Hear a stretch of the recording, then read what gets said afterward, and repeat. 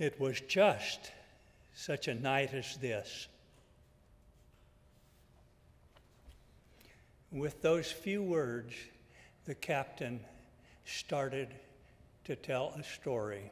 A story that he usually kept quite, but a story that was near the surface, near his personal surface, most of the time. Now he was the captain of a passenger ship that carried some cargo. Decades earlier, he was the fourth officer on a cargo ship that carried some passengers.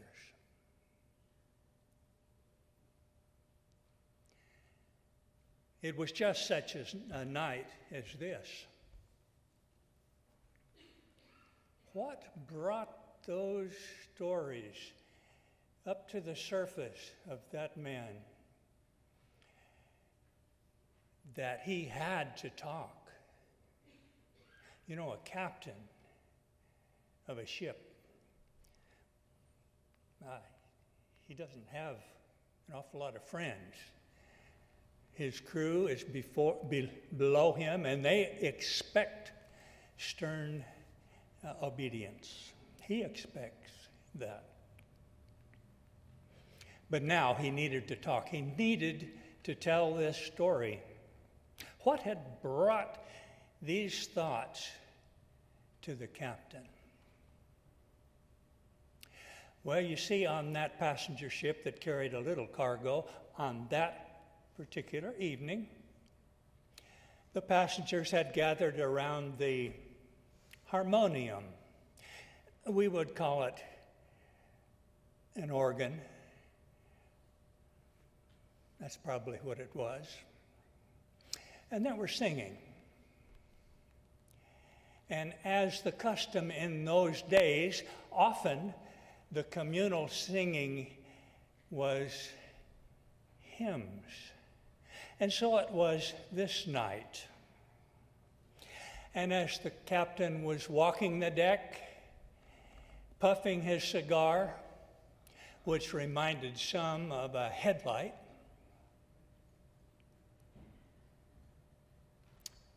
thoughts came to his mind, thoughts that he needed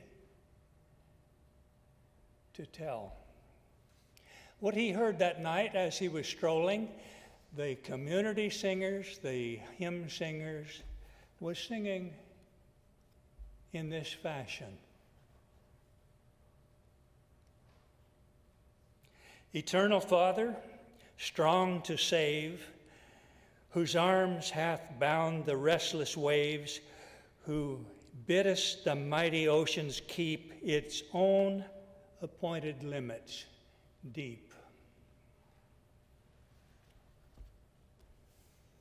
It brought to him the time that he was a fourth officer on a smaller ship, a cargo ship that carried some passengers.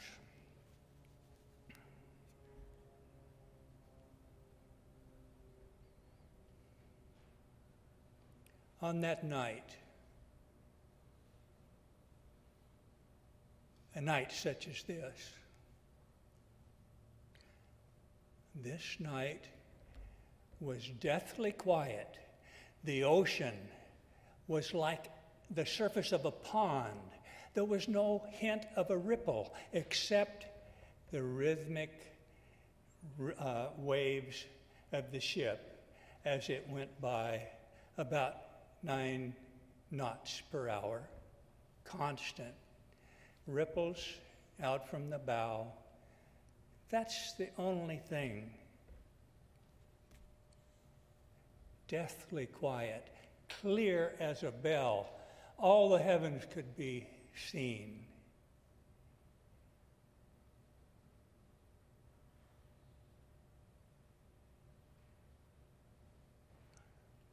The captain, who was the fourth officer at that time,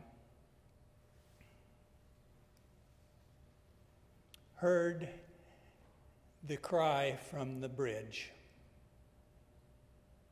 A cry that he had never, ever heard before, especially not in this type of night, not on a quiet night.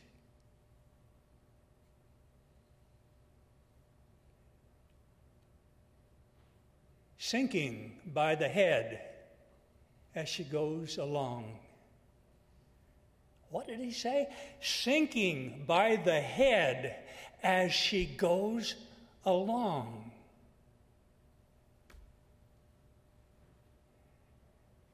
The fourth and third and second officers couldn't hardly believe it. And the captain couldn't hardly believe it. But the tradition in those days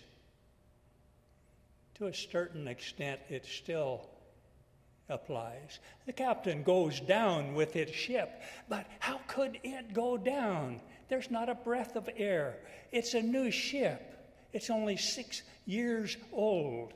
It's the pride of the line that owns it, going down by the head as she goes along.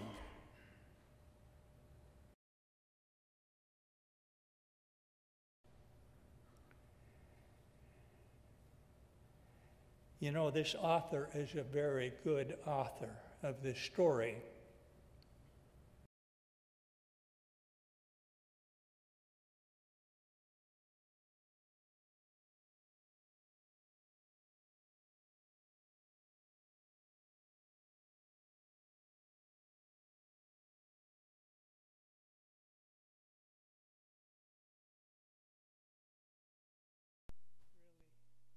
Doesn't make that too, too much difference. Yes, she was sinking. Yes, she did sink. Yes, the captain went down with the ship. Yes, to many things, many interesting things. But I tell you the story, at least this much of the story, because I can't help but consider that this old world is trying her best to sink, sinking at the head as she goes along. The leadership of this world is causing the ship of state to sink by the head as she goes along. It happened all of a sudden. The crew couldn't believe it. The passengers couldn't believe it. Nobody could believe it, but it sunk. All of a sudden,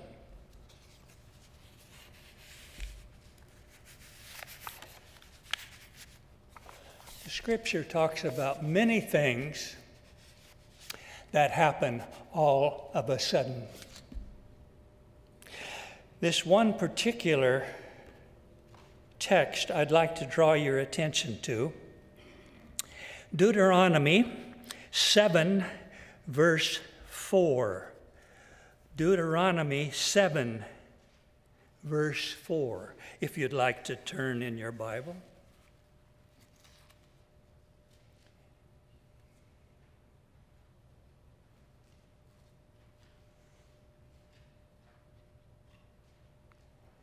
Deuteronomy 7, verse 4. For they will turn your sons away from following me to serve other gods. And so the anger of the Lord will be aroused against you and destroy you all of a sudden.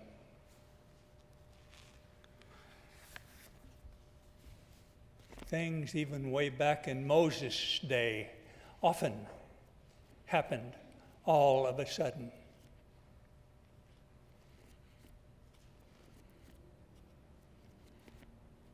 Was God going to de- uh, destroy all of a sudden people that were trying their best to follow him? No, they had turned their back on God. They had walked away from life. And when you walk away from life, this world offers not very, very much hope. Not very much hope.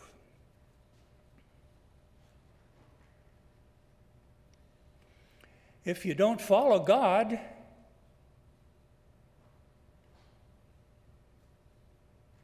going to follow the anti God, the false God, the Lucifer, the Satan. You're going to follow anybody but God. And that's a dangerous, dangerous journey. The old devil has a way of doing things.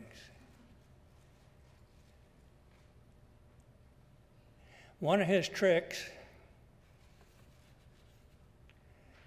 is to call, cause fear in people. Fear. Another trick of which this church is well aware. Another one of Satan's tricks, his weapons, if you will, is to divide congregations, families, even an individual's heart can be divided. And when division happens, it's harder to stand.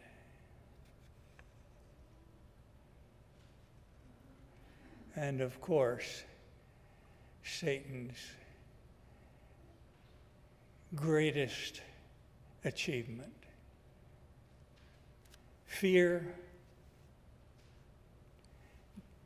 dividing, and death.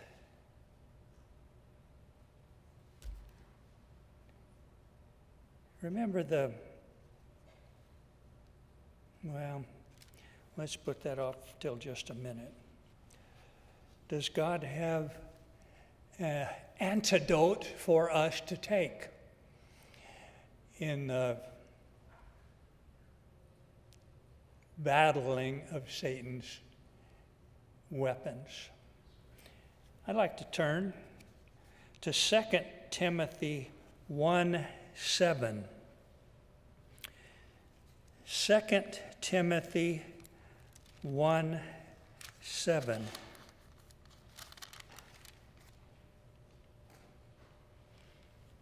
That book is about that thick and it's hard for me to find. I usually have to go to the uh, index, the table of contents. But I got a sticky note on this one, so I found it quick. I got a, God bless the sticky notes. 2 Timothy 1, verse 7. The antidote for fear. For God has not given us a spirit of fear, but of power and of love and of a sound mind. That is getting rarer and rarer to see in this crazy old world. And it comes as an antidote for fear from the hand of our Creator, from our God Himself. This is the antidote for fear. A lot of fear going on nowadays. Have you noticed? A lot of fear. And the antidote comes from the hand of our God. Lots of problems in this world. Lots that we don't even need to start to try to delineate them. Let us just say that God has headed off, headed off all of these problems with his antidote. His antidote defeats fear. What about division? That other problem that the devil throws right in our face. You think you're such good Christians. Watch me divide you almost in half.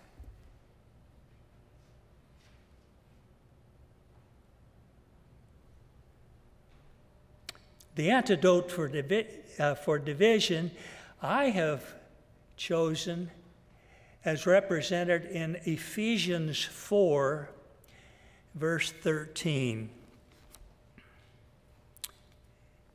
Ephesians 4, verse 13.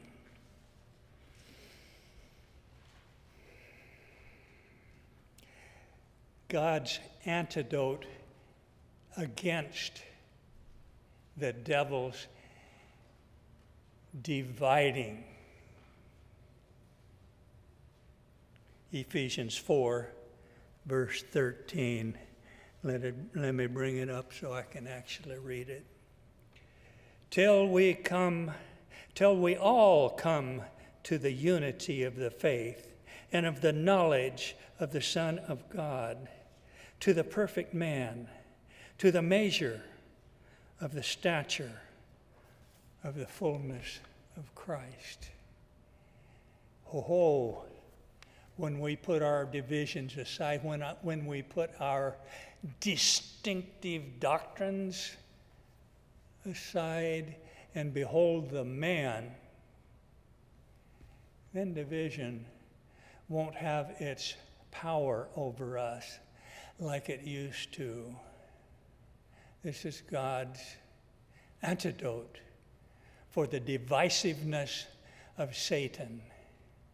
You know, our educated people in our denomination know this. They know this.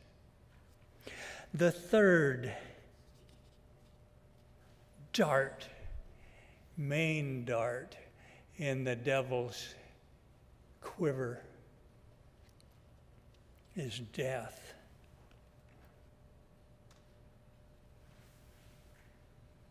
I've chosen as a representative text to show God's antidote.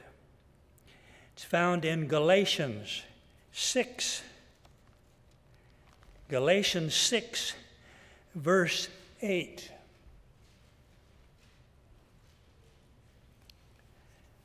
Galatians 6, verse 8.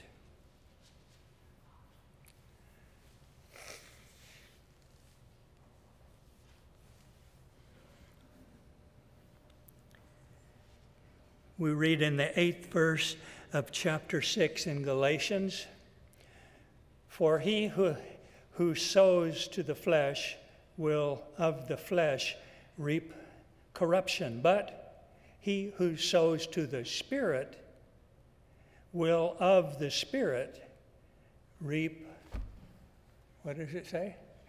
Everlasting life. You know what this means? None of the devil's weapons will faze us if that's what we choose.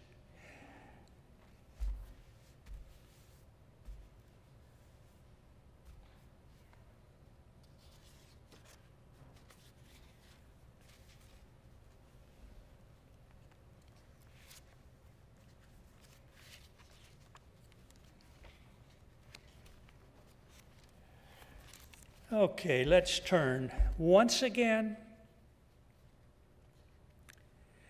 to 1 John, first chapter, verse 5. That's the text for this morning. And I'd like to read it one, once more. My favorite text reader read it just a few minutes ago. I love Armand's voice. He believes those scriptures. And in 1 John, the fifth chapter, all the way through to the second chapter, verse 1. Let's read that just one more time with what we've said this morning as kind of a background.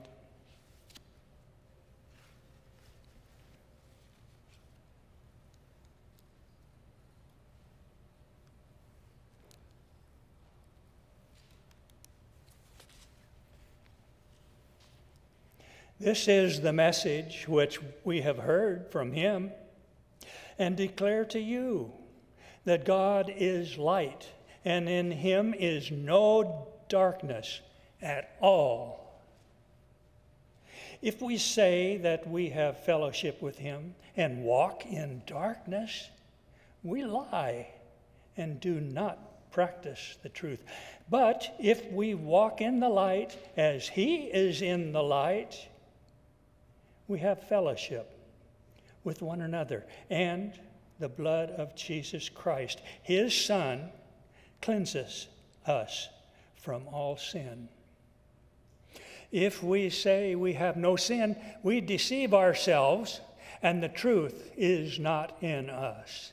If we confess our sins, he is faithful and just to forgive us our sins and to cleanse us from all unrighteousness.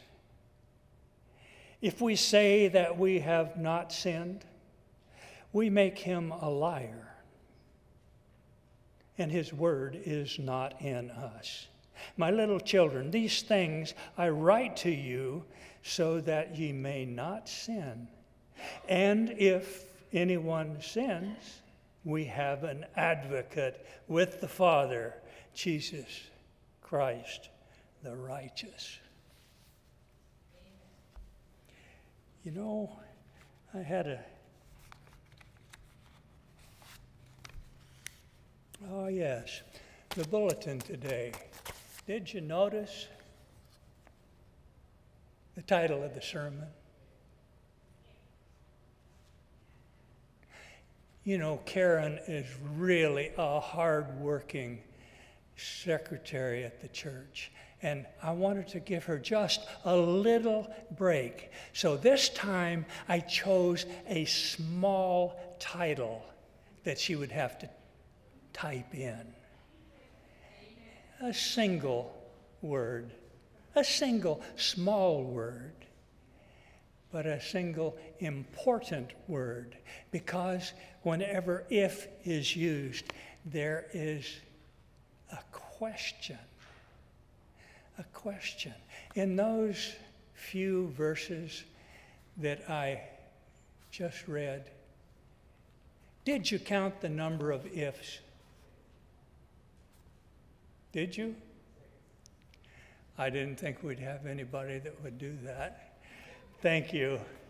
Yes, there are six ifs. How many of them are if God fails to do what he told us he would do for us. Zero, zero, none, nada.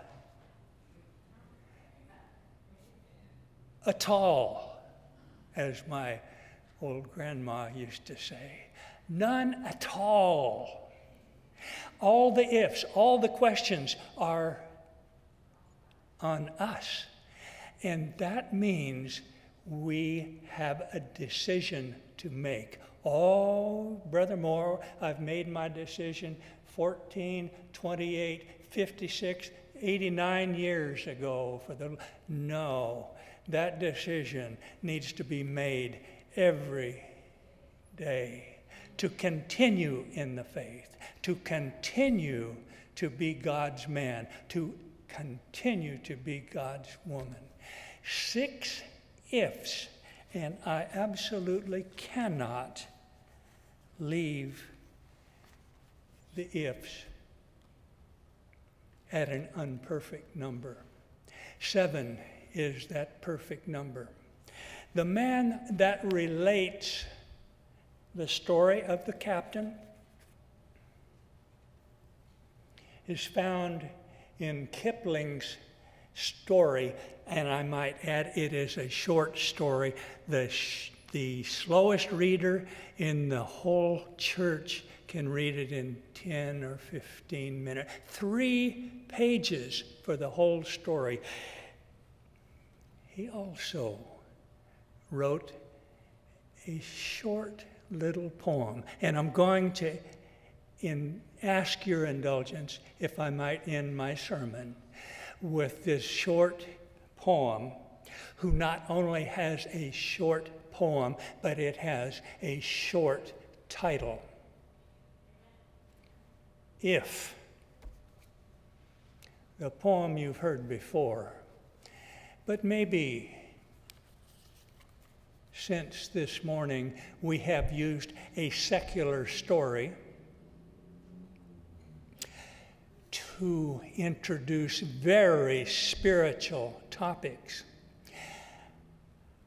Thinking on those things, see if you can't pick up in this short poem entitled If some very spiritual things.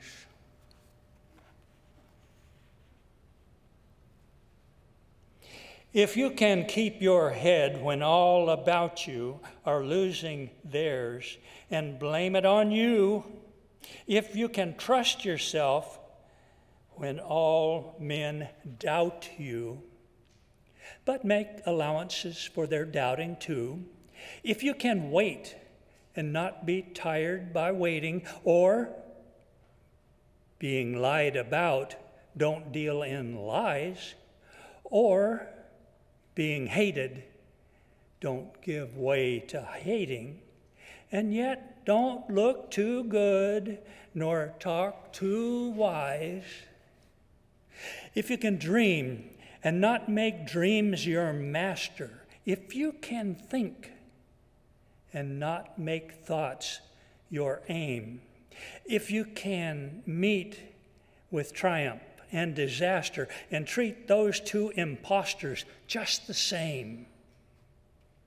If you can bear to hear the truth you've spoken, twisted by knaves to make a trap for fools, or watch the things you gave your life to broken, and stoop and build them up with worn out tools.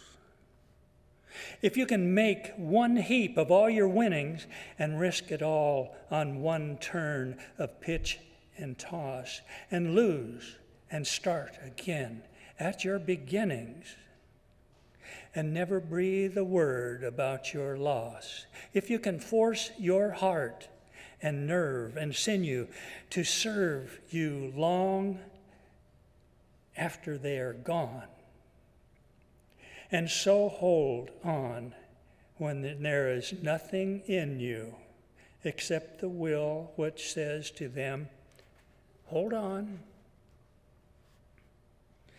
If you can talk with crowds and keep your virtue, or walk with kings, nor lose the common touch, if neither foes nor love loving friends can hurt you. And all men count with you, but none too much. If you can fill the unforgiving minute with 60 seconds worth of distance run, yours is the earth and everything that is in it, and which is more You'll be a man, my son. Heavenly Father, we're thankful today to be in this house. For so many weeks in the past year, it was denied us, but not your presence. We need to be used to your presence when we're by ourselves. I need this bad. I need it bad. And we thank you that we do have this one day, this one week, this one, however long it is, that we can meet together. We thank you in Jesus' name. Amen. Declaring to each individual their eternal value in Jesus and preparing them for his soon return. This has been Anderson SDA Church in Northern California. Thank you for joining us.